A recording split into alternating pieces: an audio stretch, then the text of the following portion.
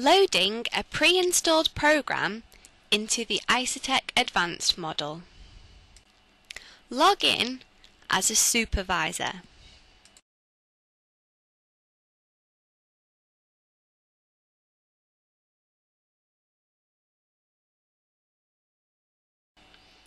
Then return to the home page.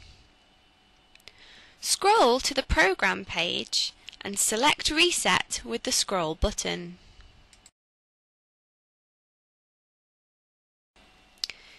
Then, in Operation, select Load, then select the required program. In this example, it is Test 1. This has now been loaded. Exit to the program page and then select Mode again. Next, select Run and enter using the scroll button. You can now see that the program is running. This is the segment time remaining and this is the program time remaining.